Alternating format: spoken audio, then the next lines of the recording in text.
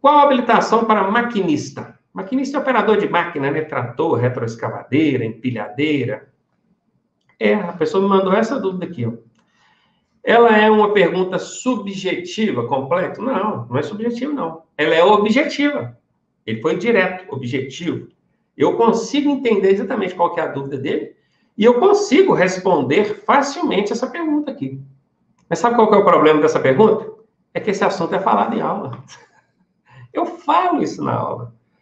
Ou, uma coisa é você ver e não entender. Outra coisa é você não ver. Você não viu a aula. Se vê, tem como, olha aqui, ó. Tá aqui, ó. Printei lá, ó. Isso aqui é um, é um, é um slide que eu uso na aula lá. É a mesma aula que tem aqui na plataforma, ó. Operador de máquinas. Tá aqui, ó. Operador de máquinas. Qual a categoria que precisa? CDOE. Tá aí. E aqui ainda complementa, ó. Quando essa máquina for um trator de rodas ou uma máquina usada para trabalho agrícola, pode ser conduzido para a categoria B também. Eu falo isso lá na aula. Eu falo isso lá. Aí a pessoa vem e me pergunta: qual a habilitação para conduzir máquina? Ou qual a habilitação para o maquinista? Será que a pessoa não assistiu a aula? Porque se ela assistiu, isso está muito claro aqui, não está? Não está claro? O que, vocês acham? Eu acho que está claro. Agora veja bem, olha, olha como é que é a coisa. Ó.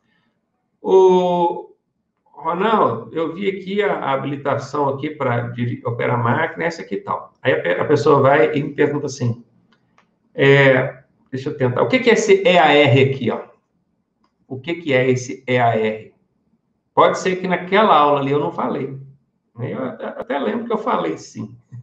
Um exemplo que me surgiu aqui na hora. É, então, ah, tem uma outra aqui, ó. Vamos lá. Vamos supor que o trator não é de roda, o trator é de esteira. Trator de esteira. Eu posso dirigir para a categoria B mesmo assim, Ronaldo? Ah, não há dúvida, não é?